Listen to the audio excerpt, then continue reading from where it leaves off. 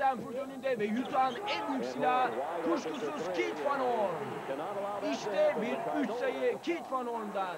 Adeta tek başına bir takım. Nefis bir blok. Gardını bulamıyor. Sahayı geçiyor. Drive ediyor ve basketi sağlıyor. Bu adamı tutmak çok zor.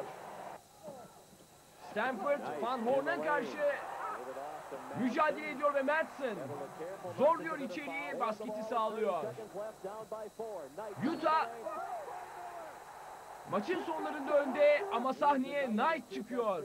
Önce bir iki sayı sonra da inanılmaz bir üçlük. Maçı uzatmaya götürüyor ama uzatmada Utah